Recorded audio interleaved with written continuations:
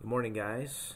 I just want to let you know that it's one Tuesday, and uh, second, it's God has really been um, starting to turn things around for us. I feel, and it seems that the devil tries to attack us personally in a financial department. And I may have told you this before, but when we got married, my wife immediately lost her job, and she had to get unemployment. We didn't know what we were going to do uh, we immediately had half our income just wiped away. Uh, when we were expecting X, we got Y, and so we really had to trust God and, and still still tithe our, our finances, even though that was the one of the hardest things we had to do. Um, and it seemed just here lately, it's been kind of the same struggle. Uh, not necessarily job loss, but now my wife is looking for work, and so obviously the financial portion is, is strained. However, God has been slowly releasing his blessings on us. And uh, as of yesterday, that happened. And so we were really excited about that, about what God is doing. And I know that he's not done yet um, just because I trust him. And so what I've had to do, just so you guys know the secret, the secret is to let it go.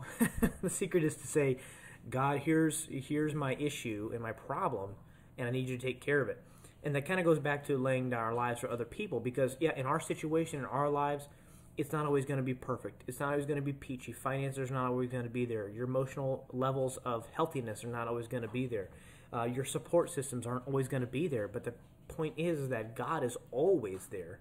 Uh, whether people will always fail you they'll always trip up they'll always make mistakes and we have to forgive them for that. But we need to put our trust in god alone. And so it's it's interesting. Uh, I was reading um, 2 Corinthians 12, um, and it's verse 8. It says, three, three different times I begged the Lord to take it away. Each time he said, My grace is all you need. My power works best in weakness. That is so powerful. My grace is all you need. My powerful works best in weakness. And Paul says, So now I'm glad to boast about my weaknesses, so that the power of Christ can work through me. That's why I take pleasure in my weakness and in my insults, hardships, persecutions, and troubles that I suffer for Christ. For when I am weak, then I am strong. And we're only strong because of God. We're only strong because He is with us. We're only strong because that's when His grace kicks in when we are weak. When we are weak, when we are downcast, when we don't, we cast that at His feet, when we're hit our low, where we say, God, you know what, take take it all away. Then He's like, all right, now I'm gonna now I'm gonna show you how how I do things, how I want it done, how I get to bless you. And it doesn't always take this, guys, but a lot of times it takes us to be weak for him to show us power because we can't let go.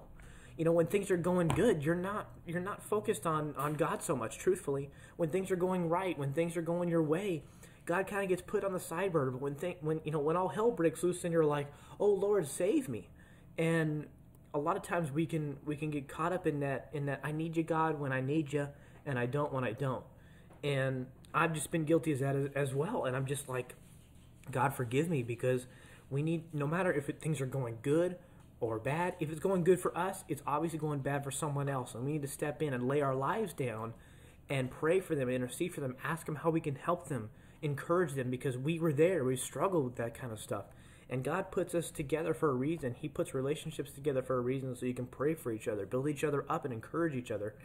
And I just want to remind you guys that it is so important that when we are weak, God is strong. His grace is sufficient for us, and He will come through every time. And it's always in His timing and not our timing. And that's the patience portion that's difficult. But as we lay our lives down, lay our burdens down at His feet, and say, God, I can't handle it anymore. It's all you. I am so weak. I just can't take it anymore. It's sucking the life out of me. God will say, Okay, I'm going to give you strength to push through, and I'm going to bless you because of it, because you trusted me and you're faithful.